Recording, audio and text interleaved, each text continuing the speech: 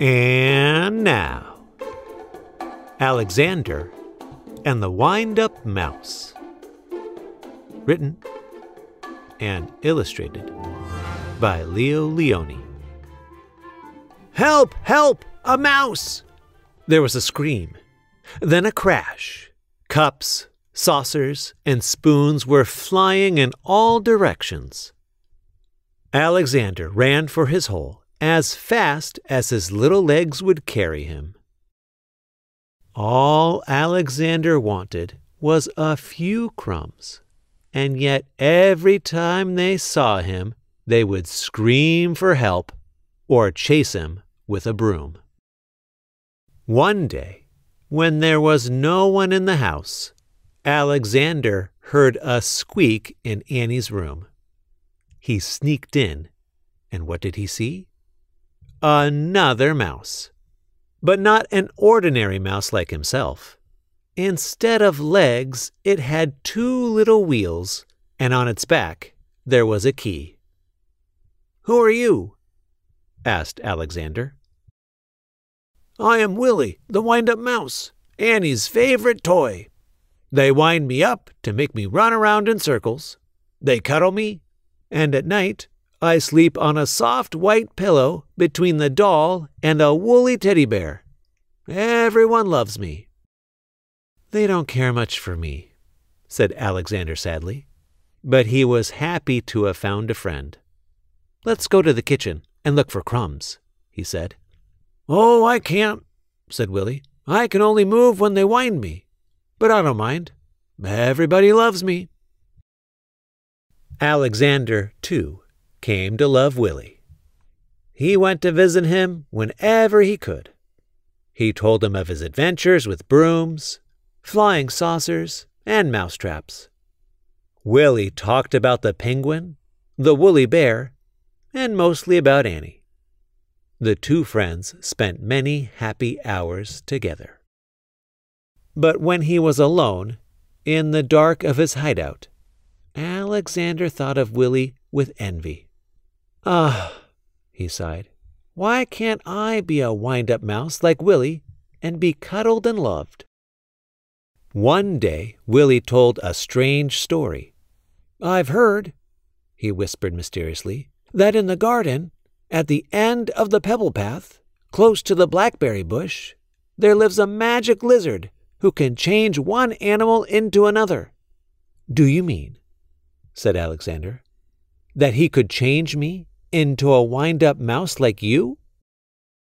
That very afternoon, Alexander went into the garden and ran to the end of the path.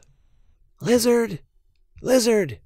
he whispered, and suddenly there stood before him, full of the colors of flowers and butterflies, a large lizard. Is it true that you can change me into a wind up mouse? asked Alexander in a quivering voice.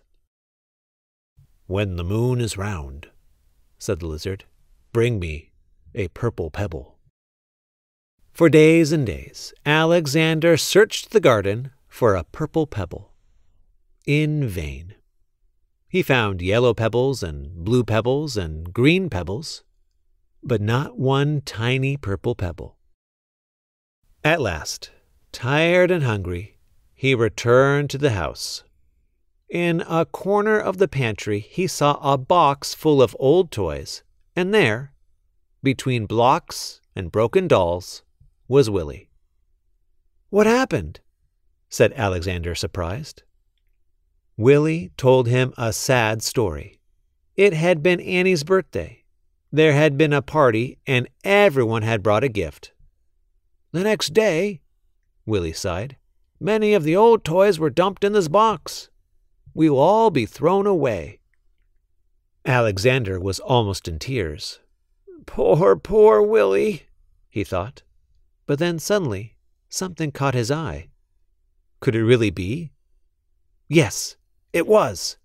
It was a little purple pebble. All excited, he ran to the garden, the precious pebble tight in his arms. There was a full moon. Out of breath, Alexander stopped near the blackberry bush. Lizard! Lizard! In the bush! he called quickly. The leaves rustled, and there stood the lizard. The moon is round, the pebble found, said the lizard. Who or what do you wish to be? I want to be. Alexander stopped. Then suddenly he said, Lizard, lizard, could you change Willie into a mouse like me? The lizard blinked. There was a blinding light, and then all was quiet. The purple pebble was gone.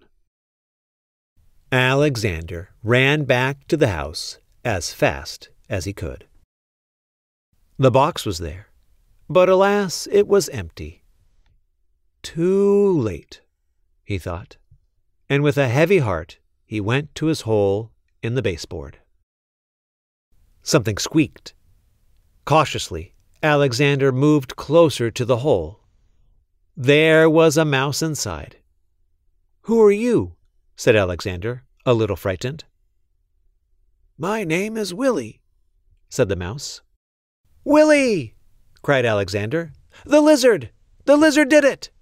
He hugged Willie, and then they ran to the garden path, and there they danced until dawn.